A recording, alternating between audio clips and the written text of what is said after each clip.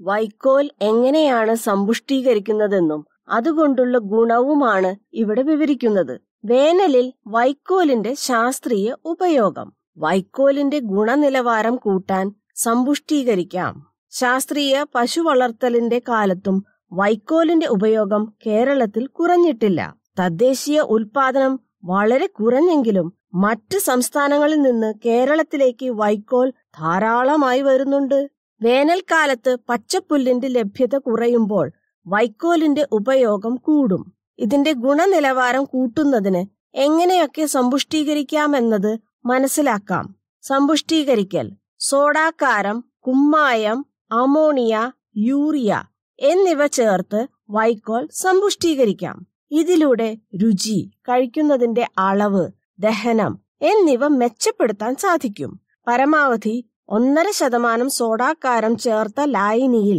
ഇരുപത്തിനാല് മണിക്കൂർ വൈക്കോൽ കുതിർത്ത ശേഷം തണുത്ത വെള്ളത്തിൽ കഴുകി പശുക്കൾക്ക് നൽകാം. ഇതേപോലെ നാല് മുതൽ ആറു ശതമാനം വരെ കുമ്മായം കലക്കിയ വെള്ളത്തിൽ കുതിർത്ത ശേഷവും നൽകാം. കുമ്മായം ഉപയോഗിക്കുമ്പോൾ മൃഗങ്ങൾക്ക് കാൽസ്യവും ലഭിക്കും. അമോണിയ വൈക്കോലിൽ ചേർക്കുമ്പോൾ ദഹനശേഷി മാത്രമല്ല പ്രോട്ടീനിന്റെ അളവും കൂടും. അതോടൊപ്പം വൈക്കോൽ എളുപ്പം കേടുവരാതിരിക്കുകയും ചെയ്യും. കേരളത്തിലെ സാഹചര്യത്തിൽ അമോണിക്കു പകരം അതേ ഗുണങ്ങൾ നൽകുന്ന യൂറിയ ഉപയോഗിക്കുന്ന രീതിയാണ് പ്രായോഗികവും ചെലവ് കുറഞ്ഞതും. യൂറിയ സുരക്ഷിതവും കൈകാര്യം ചെയ്യാൻ എളുപ്പവുമാണ്. ഇതിനായി വർഷങ്ങൾക്കു മുമ്പേ പദ്ധതികൾ ആരംഭിച്ചെങ്കിലും കേരളത്തിൽ ഇതുവരെ പ്രചാരം ലഭിച്ചിട്ടില്ല. വൈക്കോൽ യൂറിയ സമ്പുഷ്ടീകരണ രീതി. നൂറ് കിലോ വൈക്കോലിന് പരമാവധി നാല് കിലോ യൂറിയ അറുപത് ലിറ്റർ വെള്ളത്തിൽ ചേർത്ത് നന്നായി ഇളക്കി ലായിനി തയ്യാറാക്കാം. സൂര്യപ്രകാശത്തിൽ നിലത്ത് പരത്തിയിട്ട വൈക്കോൽ ഒരു സ്പ്രേയർ അഥവാ റോസ് ക്യാൻ ഉപയോഗിച്ച് പകുതി ലായിനി തുല്യമായി തളിക്കാം. അരമണിക്കൂറിന് ശേഷം വൈക്കോൽ തിരിച്ചിട്ട് ബാക്കിയുള്ള ലായിനിയും തളിക്കാം.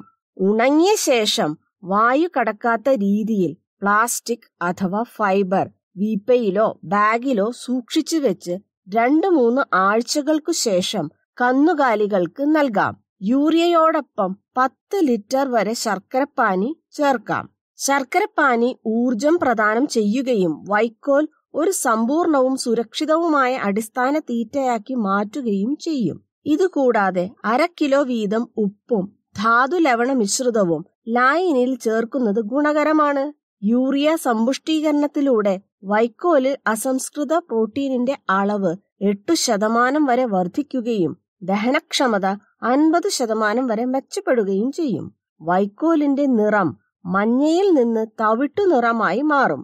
തീറ്റയ്ക്കായി ഉപയോഗിക്കുന്നതിന് മുമ്പ് സമ്പുഷ്ടീകരിച്ച വൈക്കോൽ അല്പനേരം തുറന്ന അന്തരീക്ഷത്തിൽ വെക്കണം. യൂറിയയിൽ നിന്നുണ്ടായിട്ടുള്ള അമോണിയ അമിത അളവിലാണെങ്കിൽ ബാഷ്പീകരിച്ചു പോകുന്നതിനു വേണ്ടിയാണിത്. സമ്പുഷ്ടീകരിച്ച വൈക്കോലിന്റെ അളവ് തീറ്റയുടെ ഇരുപത്തഞ്ച് ശതമാനത്തിൽ കവിയാൻ പാടില്ല. ഏകദേശം പത്ത് കിലോ വരെ. പാൽ ഉൽപാദനത്തിനായി ഇവയെ ആശ്രയിക്കരുത്. ആവശ്യത്തിന് തീറ്റപ്പുല്ല് കാലിത്തീറ്റ എന്നിവ ഉൾപ്പെടുത്തണം. വെള്ളം ധാരാളമായി നൽകണം. കാലിത്തീറ്റയുടെ അളവ് കുറയ്ക്കുന്നതിനും മിതമായ തോതിൽ ഊർജവും പ്രോട്ടീനും ലഭ്യമാക്കുന്നതിനും അയവെട്ടൽ ത്വരപ്പെടുത്തുന്നതിനും ചെലവ് കുറയ്ക്കുന്നതിനും സമ്പുഷ്ടീകരിച്ച വൈക്കോൽ സഹായിക്കും. കുതിർത്ത് നൽകൽ. ഏറ്റവും പ്രായോഗികവും വില കുറഞ്ഞതുമായ രീതിയിൽ വൈക്കോലിലെ പോഷകങ്ങളെ ഉപയോഗിക്കാനും അതിന്റെ ദഹനം വർദ്ധിപ്പിക്കാനുമുള്ള മാർഗം കുതിർത്തു നൽകുന്നതാണ്.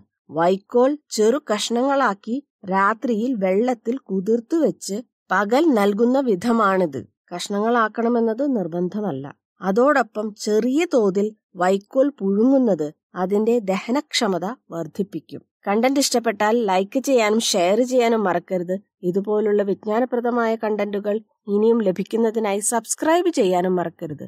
അഭിപ്രായങ്ങൾ എന്തെങ്കിലും ഉണ്ടെങ്കിൽ കമന്റിൽ രേഖപ്പെടുത്തൂ. താങ്ക്